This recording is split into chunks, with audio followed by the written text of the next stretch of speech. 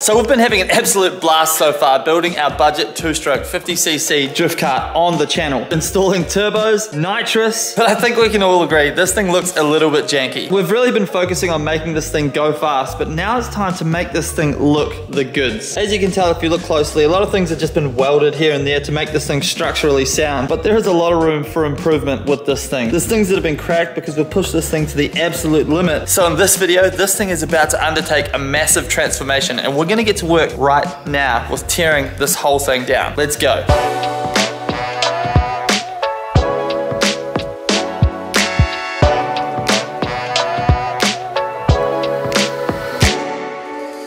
Would you look at that? She's a bare naked shell. These things are so fun to work on simply because you can do so much in such a short period of time. Like that literally took me 20 minutes to completely strip the whole thing. And now you get a little bit better of an idea of how kind of janky the setup is at the moment and how much we can improve with the whole thing. So I'm gonna start by chopping out everything that we don't want. Cleaning up all of the random crap that we've already cut off. We're also gonna extend the wheelbase while we're here. It's a little bit too short at the moment, which means when we drift it, it's just a little bit snappy. So we'll be able to improve that dramatically simply by shifting the engine back a little bit. So I'm gonna move this back as far as I can, and then we'll extend this exactly the same amount as we shift that back. And that's probably gonna extend the wheelbase about 50 millimeters. And on such a small cart like this, it's gonna make a pretty big difference. Also, side note, I know a bunch of you guys are new to the channel. You're seeing the cars in the background. I will be doing a bunch of videos on these cars soon. The Datsun 280ZX, the E36 Pro drift car, and of course, the rear wheel drive Evo. You're gonna see that in the next video because we're gonna improve it and we are taking it drifting this weekend, as well as taking our cart to the tracks. So we have a lot going on on the channel. But right now, I'm gonna grind everything that we do not need off this frame. So by removing the pre-existing bars and brackets, we're ultimately making the cart lighter, stronger, and faster, but most importantly, we're making it look way better.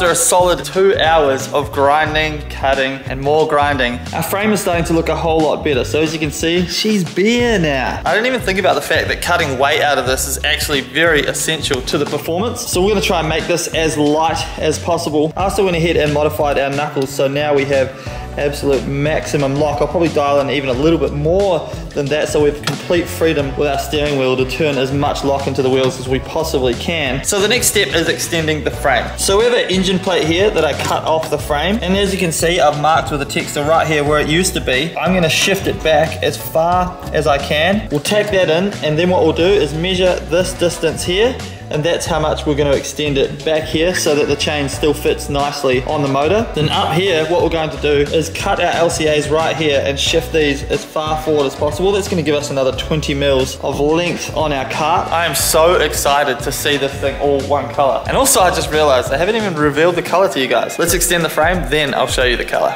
Woo! So I quickly test fit the engine to make sure it doesn't foul on the frame before welding the engine plate in its new position. Then we're free to cut and extend the frame.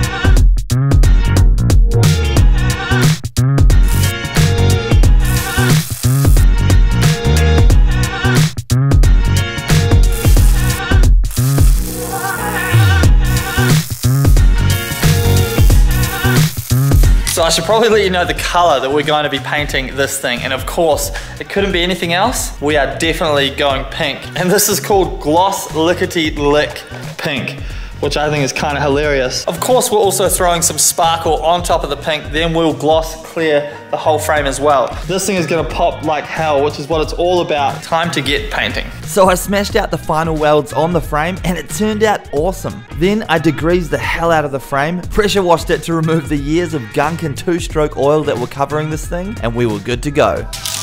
It's time for paint. Let's go.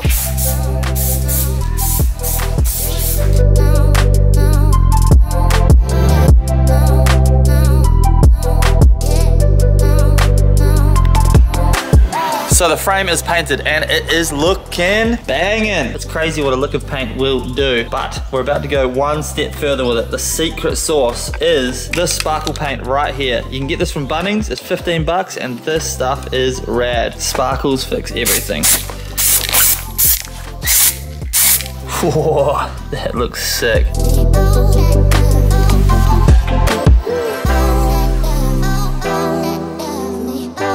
This thing has turned out amazing. Look at this. I absolutely love sparkle. It just adds so much to the paint job and it also covers up so many little imperfections. So good. And guess what? That means now we can start reassembling this thing. I gave our front knuckles, steering column and everything just a lick of silver just to have them stand out a little bit more and clean them up. I'm so freaking excited, man. Let's get this thing together. You!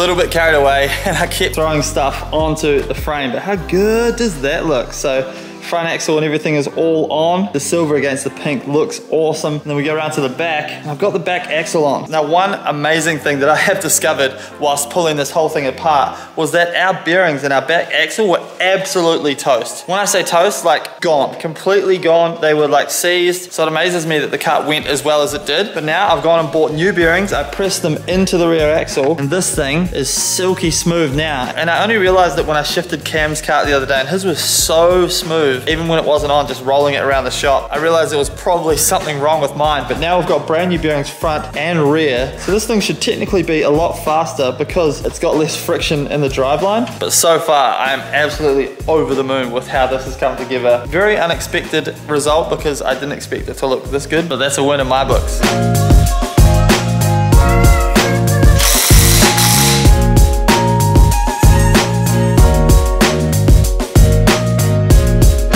I just threw the motor back in the cart and honestly, I'm blown away by how good this looks. I am obsessed with this thing. Are you ready? I'm gonna show you. You ready? Three, two, one.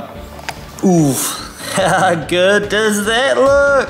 Jeez. Night and day difference from when we started. Holy crap.